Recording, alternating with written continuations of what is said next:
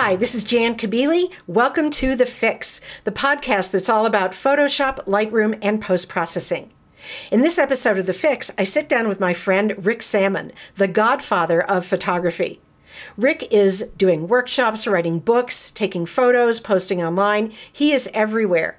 And he's really a pleasure to talk to because he knows so much about shooting and post processing. In this episode of The Fix, Rick will show us how he processes one of his photos in Photoshop using Camera Raw as a filter and then applying some plugins, some Nik Google plugins, Silver Efex Pro to convert to black and white, and Color Efex Pro 2. So stay tuned for this episode of The Fix with Rick Sammon. Hi, Rick Sammon. How are you today? I am so happy to uh, be here. You know, my wife watches your tutorials. I watch your tutorials. So many people I know watch your tutorials. You're an amazing uh, instructor, so it's really an honor to be here. Oh, that's so nice of you. Well, you well, know, I mean I, go ahead. I mean it. Well, so are you. And, you know, I have to tell you, Rick Sammon, it sure looks to me like you are some kind of photography machine. I mean, you do it all. You're what you do workshops, lots of them. You write books, lots of them. You are constantly shooting and posting your photographs.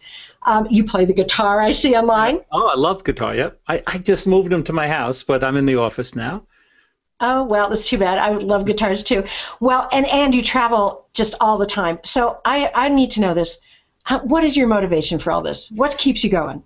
Well, I think uh, you know, just I love life. And my philosophy is if you're not having fun, you're doing something wrong. So every day I really, really try to have fun. I try, I try to make it fun. I try to make it fun for others. And I think photography uh, keeps us fun. Uh, being healthy um, keeps us young. You know, I'm 65 uh, next month.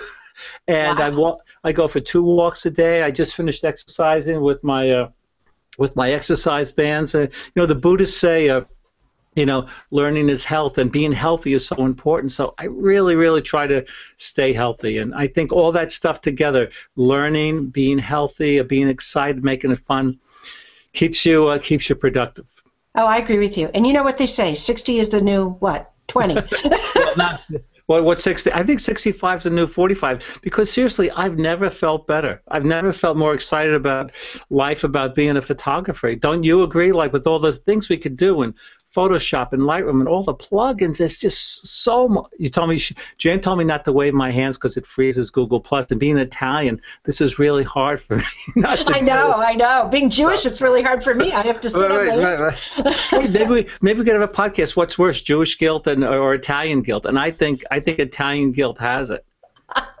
Oh, really? You're so funny. You're so funny. Well, we'll talk about that some okay. But today okay. we are going. To, I would like to talk about sure. your new book. You've got a new photography book. How many books does this make for you? Well, this is this is 36, Jim.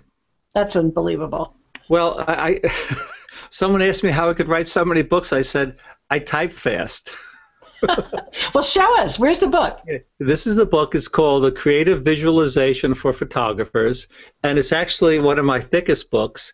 And what's really interesting is that for people who get it, they'll see it has a lot more text, a lot more text than some of my other books, because this is more like a a textbook on learning. So creative visualization, you know, what is that? It's you know, this is envisioning the end result. So, you know, I'm looking at the picture right behind you of the tree with the dark sky.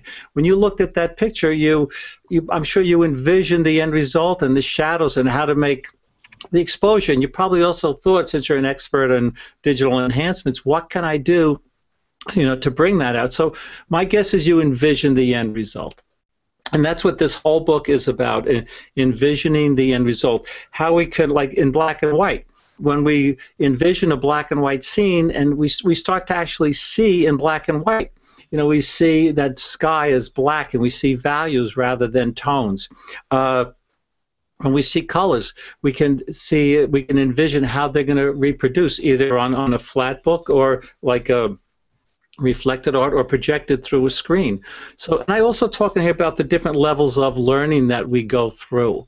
The four levels of learning where we start, you know, we, we think we're good and we're not, and then the final level, the fourth level of learning is where we just do it like getting back to the music, you know, Carlos Santana just playing guitar. He's not really thinking about it He's just doing it. And same thing with Clapton. And same thing with Jimi Hendrix, who I saw the movie last night. Did you see the Jimi Hendrix movie? No. Oh, it's amazing. It's good. Is so it? anyway, it's um, it's actually um, one of my, my, my favorite books. and includes my uh, favorite photographs, and uh, I think actually it's been it's been as we speak, it's been number one on Amazon for five weeks in a row. Oh, that's terrific. Do you still sell your books in the traditional bookstores, or they're mostly just buy them online? Well, uh, this is actually a PDF uh, is available. The printed version isn't even out yet. We're recording this on April 1st. It'll be out by April 17th. Um, but I I'm, I just did this ebook. It's called "Get Motivated and Stay Inspired," and I'm selling this directly through my site on on something called Content Shelf. Are you familiar with that? No. Content Shelf is amazing. Uh, it's like you know, like fourteen dollars a month, and you could for like a gigabyte, and you could put up your tutorials there. You could put up your ebooks. So I'm selling direct. People click, and they download it, and it's very, very cool. Well, that's so good. I think it really makes it easier for more people to access all this great material. And um, you know, getting books online is a lot less expensive, and it just doesn't involve all that environmental problems of driving books around to bookstores. I think it's terrific. Oh yeah, well, and now it's easy to create this new book that I'm talking about, getting motivated and staying inspired. It's a condensed version of my keynote slideshow, and I just did convert to PDF, and that there I have my ebook. Ah, repurposing. what, what could, what, well, not everyone can come and see me. You know, even though I give like more seminars, I think than most people. Uh, uh, most photographers give, except maybe Scott Kelby. uh, well, you, you, and you also lead these great workshops, right? Well, I lead workshops, and my philosophy is this: that uh, people want to know how much you care before they care how much you know. Like everybody knows what I know, right? I actually, when I worked in the advertising agency, I had this sign on. Oh, wave my hands. Had this sign on my desk, uh, on the wall. And you know, when I would hire people, that's what I said. How much do you care? Because a lot of people know the same thing. And you know, they could come on a workshop and learn how to photograph horses or landscapes or HDR. Everybody knows how to do that. Every pro. So I, I, try to show people that I really care about them when they come on the workshop. That we really care that they're going to a get great pictures, b have uh, have a lot of fun, and uh, maybe c make some lifelong friends and have good food. It sounds totally fun. Oh, and it the good fun. food, of course. Yeah, yeah, right. Yeah. Well, you know, you're doing so many things, and I know you also. Um, I, but I want to talk about a little bit about what you do after you shoot and after you shoot with your right. uh, workshop um, students. I know you spend a lot of time processing. I do. Uh, tell us, what, are, are you a Photoshop guy, a Lightroom guy? What do you do? Well, I tell people I, I teach Lightroom, and uh, but today I'm going to show you something in Photoshop. I say the day someone shows me how to do something in Lightroom that I can't do in Photoshop. I'm going to switch. But I still love Photoshop. You know, like with this book, I had to convert every single file to a CMYK file. Can you do that in Lightroom? No. No. No, so because CMYK is for print. Right. So I, I had to do I, that, that. I do a lot of uh, a lot of other things with blending modes and luminosity masks. I know you could do some of the same thing, but I've been using I've been using Photoshop for so long, and you know, Lightroom is totally, totally amazing. I think every instructor today has to know how to do do both, right? Oh, and I, I'm sure you find this. What drives me crazy is people, for some reason, happens most with mostly with people who have PC. I'm sure this is not the first time you've heard this, but if other instructors are listening, they've heard it. People download the pictures, and then I hear, like, while during the downloading session or the next day, Lightroom lost my pictures. Oh, of course. Well, that's because it's a different way of working than Photoshop. It involves a database, and that's hard for a lot of people to get their heads around. So that's our job, right? Or my job is I try to simplify that for people. And once they get it, they're very happy using Lightroom. But you know, Rick, I, I am really a proponent of it is not – Lightroom or Photoshop. They are complementary. Right. And um, you can't do everything you need to do in Lightroom, but it's certainly a great starting point. And then if you need to do the extra things, you take them to Photoshop. And I actually wrote a whole book about that, not to self promote, but to just because I want to make sure people understand this. And it's a little complicated. I wrote one of those books behind me, the one that's kind of uh, the second one in there. It's a classroom in the book for Adobe. And it is all about that process of using Lightroom and Photoshop together and when to do it, not just how to do it. So it's a very interesting topic. I think you were on my podcast talking about that a while ago. I think if that's not, great. we're going to have you back again because because this is so important. And I actually want to have you back again because this is the thing. How can people blame Lightroom for for losing their pictures? I never heard, oh, Bridge lost my pictures. right? You got to blame someone, right? you, you got to blame someone. Let's get back to the Jewish and the Italian guilt. You're so, right? We, we blame our mothers. Well, anyway, so so you uh, well, that's a whole other story. But let me ask you this: so you are a Photoshop guy. Do you use plugins with Photoshop? I, I love using plugins. I feel that plugins can really help us awaken the artist within. Now, I'm sure you know this. Uh, every plugin out there, you could do the same thing that a plugin does if you're very skilled at Photoshop, but it might take you three hours, you know, to do all the blending modes and the this and the that, and you know, or like detail extractor. Do you use a uh, Nik? The Nik software? I do. Well, Nik, Google software now. Oh yeah, now it's that with the Color Efex Pro, Jan, with the uh, detail extractor. I call that like HDR simulator because it somehow or other it opens the, the shadows without creating noise, which, as you know, is a big problem with opening up shadows. But you know that and the dark and lighten center, which I might be using some of these during a demo, uh, and all the like the duplex filter I like, and the topaz Spicify. Well, I say Spicify. I think they say specify. Uh, the ON1 software is amazing. All these plugins, you know. See, I have time to do this. You know, I tell people that for me, as a travel photographer, it's probably 50 50. 50% taking the picture, 50% image processing. Now, a wedding photographer is not going to think like that, right? Because has to take 300 shots, he or she, 300 shots, and you know, that's it. They don't have the time. But, uh, you know, Ruth Bernhard, a wonderful photographer who I met, you know, you know of, she died, black and white photographer. And if your listeners want to be inspired by black and white, by and by photographer, Ruth Bernhard. Anyway, she had a wonderful expression. An expression is you can't spend too much time working on a photograph because your soul is in the photograph. And you know, not every photograph I take, you know, has my soul in it, but a lot of them do. And so I feel you can, you know, people say, oh, you spent 20 minutes working on that picture. You know, Ansel Adams spent weeks or months working on on these, and Joseph Karsh, if you want to be inspired by um, an, probably the, one of the best, most well-known, although young kids today don't know who he is, Karsh of Ottawa. He, he, did, he was the Ansel Adams of portraiture. He did these beautiful black and white pictures that look luminescent, that they shine. Like Heming, I'm sure you've seen the picture of Hemingway with the sweater. That's a Karsh of Ottawa photograph. Well, it's interesting that you uh, bring up these other photographers because I do think that's a really important thing for everyone to do is look at the work of other photographers and not just um, the social, uh, if you want to call them the social media photographers, the people who you know that we interact with every day, but also uh, the historically uh, successful photographers like Ruth Bernhard, like other black and white shooters from the old days, because you know they really had to know about processing their photos. They had to get their hands dirty, and they were in the chemicals doing it. So there's a lot to learn um, from looking at their work. and also their shooting, of course. I don't know if I could find it for you. I was looking for something. No, I can't find it right now. But you, yeah, I think uh, some photographers today are more interested in being the social media stars than they are in the art and craft of photography you know, and why they get the million followers, and then they promote that they have the million followers all the time. You know, you just you know promote photography. You know. Well, I don't think it's an either or. I mean, they're both really fun and really wonderful pursuits. Um, but I do think that there is a lot to learn from the history of photography. And personally, I didn't know anything about it until I had the great fortune by just serendipity to end up in a graduate program in photography. And people started saying, look at this photographer's work and that photographer's right. work.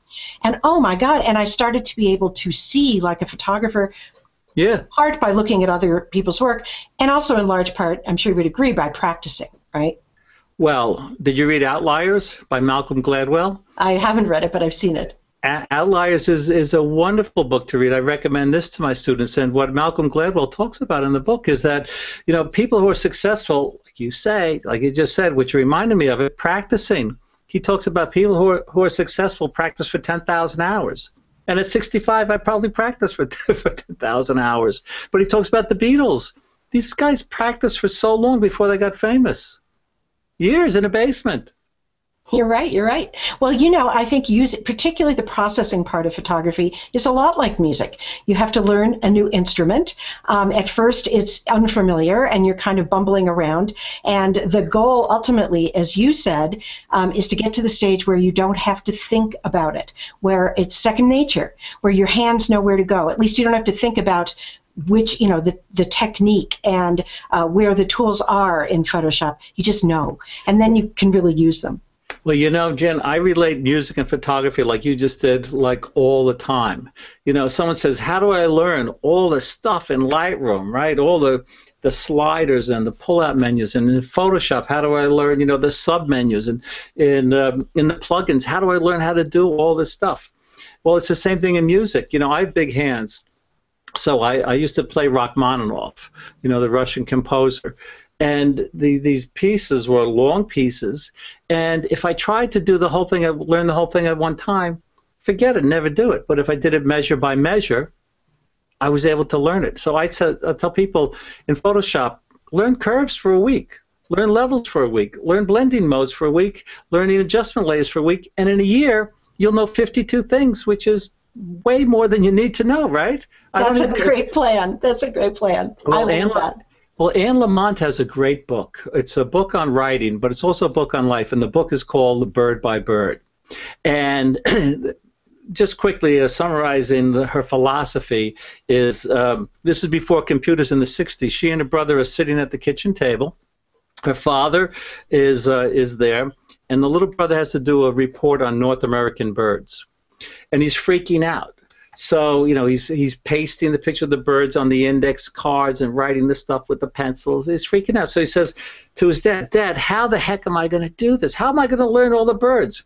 So the father turns to the son and says, "Son, just do it, bird by bird." So whether it's bird by bird, whether it's measure by measure, whether it's curves for one week and levels for one week, uh, or fly-up menus for one week, you have to do it bird by bird. Great advice, Rick. So that's a perfect segue. Why don't you give us a bird? Why don't you share your screen and teach us something? Okay, so what, what we're doing here is we're talking about, excuse me, envisioning the end result, right? So the picture on the top, I created the picture on the top, which I'm going to show you how to do, uh, from the picture on the bottom. And the picture on the bottom is a snapshot. Now the top looks like maybe I did HDR, right? Mm, yeah, in black and white. In black and white. Well, the thing is, a train like zooming by me, so it's it's not an HDR shot. So there's a lot of things. I wouldn't say wrong with the snapshot because we're just my wife and I are walking along. Uh, uh, one of the spots that we did on Route 66, which is a great trip, by the way. Going on Route 66 is just an amazing trip. But so we're walking the trains there, and I think, okay, I'll take a shot then uh, you know I like to challenge myself. I think we all need challenge. I said, you know, what could I do with this? Because I, I, I was I wanted to get a nice black and white uh, train shot. So I'm going to show you how quickly and easily I was able to do this, thanks to the power of Lightroom. No, only kidding. Thanks, yeah, actually, Lightroom would really work well to open up the shadows on that train. thanks to so, uh, and by the way, you see my little logo there. I, I recommend to all photographers to get a logo. Uh, this really, I only got the logo about six months ago, but it, it changed a lot of things. People recognize the logo. So anyway, let me go back to, oh, so here's the original shot. So let me see if I can remember what I did. so first of all, uh, now, by the way, I might do some things here. I might skip skip some steps because I want to go. How much time do we have to do this? About 10 minutes. Okay, so you see I duplicated my layer. You never, as you know, you never want to work on the original layer. So one of the things that bothers me is that the uh, the pole that the crossing lights are on is like leaning in, right? But yeah. you know, the best photographer in the world shooting close up with a wide angle lens, this was taken with my Canon 17 to 40 millimeter lens on my Canon 5D Mark III you know, if you took a shot and you're like on the ground crouching down, you want to get the sun in like that, which, as you can see, I eventually cropped out uh, because I thought it was like distracting. The pole is going to be leaning over. So basically, what I'm going to do is select all. I'm going to use the pull down menus rather than the shortcuts, so just people could see what I'm doing. Okay. Great idea. And, uh, yeah, because you know we should learn the shortcuts. They call shortcuts because they do save us time. But anyway, we're going to select all. So what's wrong with this picture?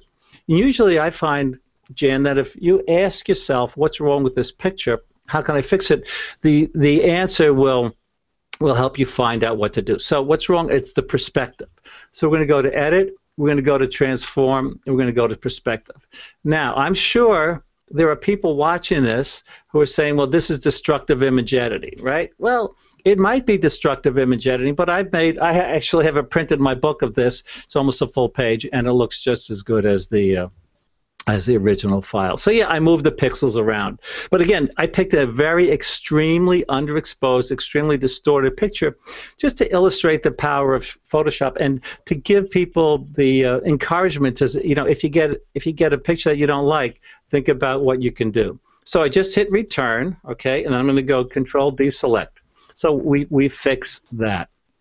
We fixed that up. So now what I'm going to do is I realize I didn't like the sun. So I do like these waves coming in here. So I'm going to crop it, and I'm going to hit return. By the way, to digress for just a minute as I usually do, uh, Edward Weston, talking about the great photographers, Jan, that we were talking about, he had a wonderful expression. And he said, composition is the strongest way of seeing. And this is true, and that's why I think, you know what, I'm looking at this, I think I could straighten that pole a little bit more uh, uh, transform perspective. Composition is the strongest way of seeing. Uh, let me go deselect. And that's true. And I think all your listeners should be really happy they're photographers because they see the world differently than non-photographers, and they say th- they see things that photographers don't see. I think so, that's true. And you know, you don't have to do all your composition in the camera, right? I've, I know I've seen you talking somewhere else about something. I think you called it crop composition or something right, that you well, make your composition afterwards sometimes. Well, that's true. Now, some people are against. Uh, some photographers, pros, are against the cropping, but you know, I think cropping gives us a second chance at composition. So I, am sure your listeners can and your viewers can tell that I talk kind of fast. So in one of my seminars, uh, I am talking about you know composition and cropping, uh, and I, am talking fast because I want to get everything done. You know, I give presentations from nine to four live. So that, that sometimes toward the end, you know, I got to speed up. Not that I'm running out of energy, just want to speed up. So I said, you know what's really cool? Croposition. So I came up with both of those. I came up great. with that term. So anyway, let's keep going. So uh, we're going to go here to the camera raw filter, uh, which you know in CC it's here. Was it in Photoshop CS6 too? I, I think it was. Remember that far back? I think it was maybe. so I think this camera raw filter is amazing. Now, now at this point, you could do a lot of the same things that you do in uh, in uh, in Lightroom. So what do I want to do? I want to open up the shadows. So, oh, I mean, this is pretty amazing to me that we could do this. I'm going to change, move my exposure, and whenever I adjust my exposure, I'm looking up here. I'm looking at the histogram. Now, when I'm shooting, not for a shot like this because it was just a quick grab shot as a train was going by. Um, if I'm photographing like a bald eagle flying up in Alaska or photographing you know, a model in my studio here, I'm always pushing that histogram to the right. And because most of the information, as you know, is over is over to the right. So when I'm adjusting it, adjusting my my exposure, I'm moving it over to the right, and I don't want to get a spike like you see here. So when I'm setting the exposure in camera, I'm doing the same thing. I'm moving it to the right, so I don't have any blinkies. Uh, so uh, which is you know the highlight alert or the overexposure warning, and I'm checking that histogram. So with just these two adjustments, I think uh, you know the picture looks a lot better. It looks a little flat, uh, just like an HDR shot when you process a picture in Photomatix or uh, Nik HDR Efex Pro. If you open up the shadows and tone down the highlights, like I'm going to do right now, your picture is going to look a little flat. So this is why a lot of people don't like HDR because the pictures look flat. So what I like to do is is boost the contrast, and you have to play around.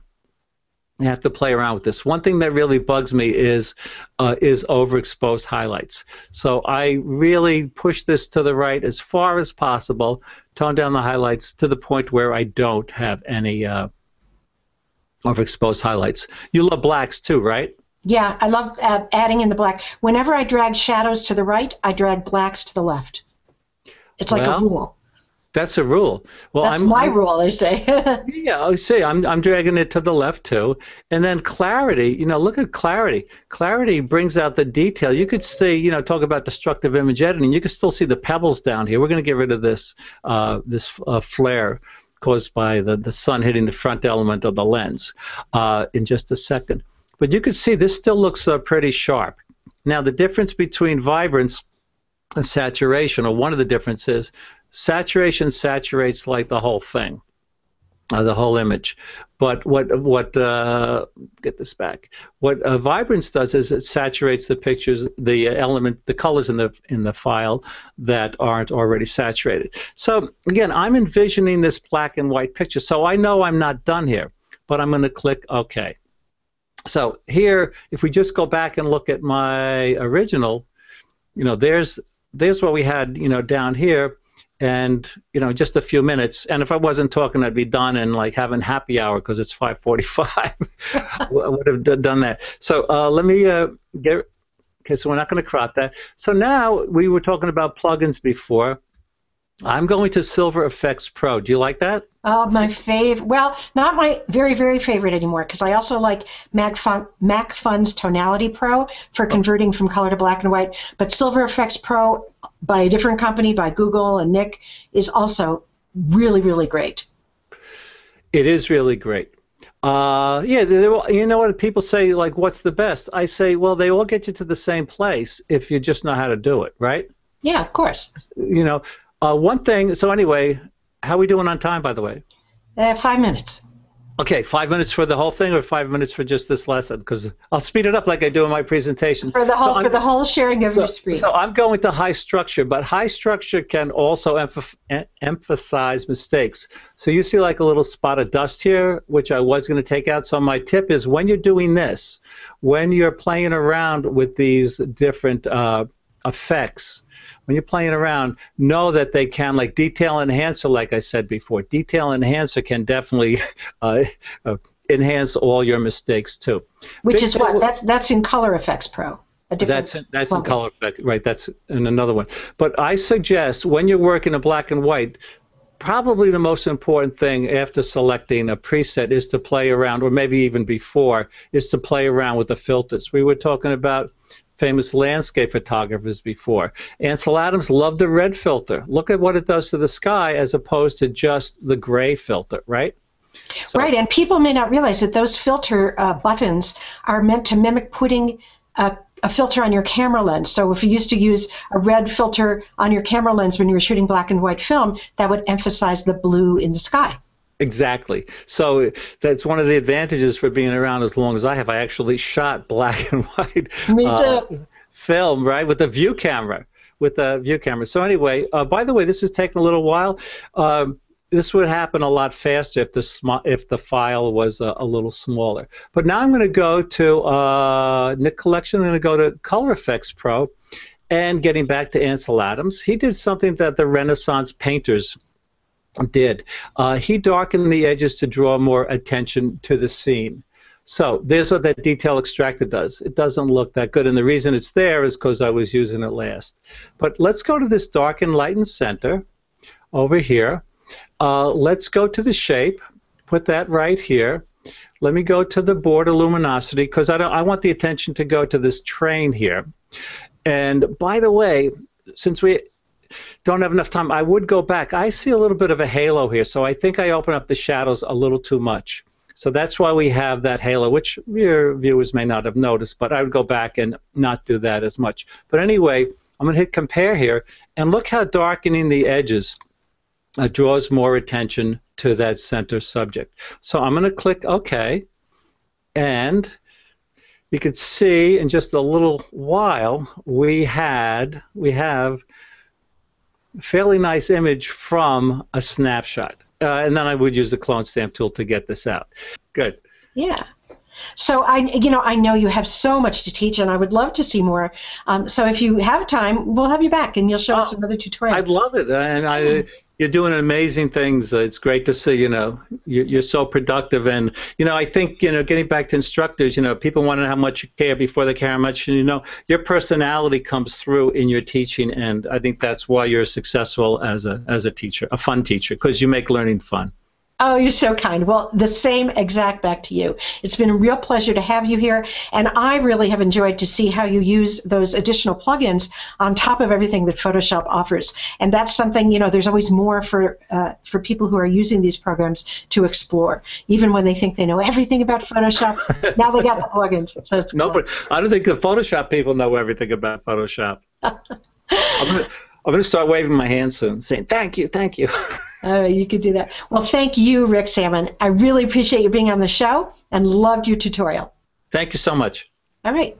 Thanks so much for joining me for this episode of The Fix. It was really fun to talk to Rick Sammon and to see how he processes photos in Photoshop. If you want to see more of Rick Sammon's work, go to his website, ricksammon.com. And don't forget to tune in next week for another episode of The Fix. I'll have another great guest for you and more tutorials here on thisweekinphoto.com slash The Fix.